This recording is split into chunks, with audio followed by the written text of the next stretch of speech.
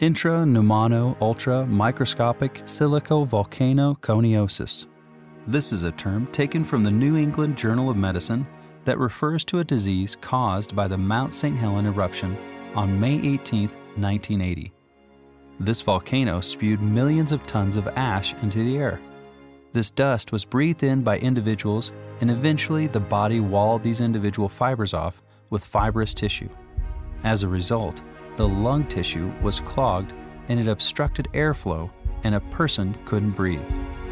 The term used to represent this disease will give the term a literal meaning.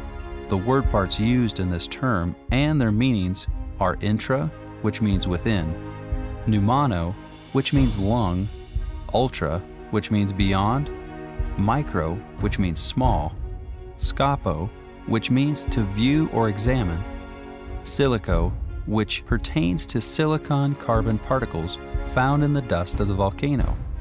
Volcano means to vent or erupt. Conio pertains to dust, and osis means a condition or disease. In this term, which is pronounced intra pneumono ultra microscopic silico volcano coniosis.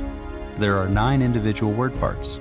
Most compound terms only have two to four individual word parts, which includes a stem word, a suffix, and often a prefix that modifies the individual term.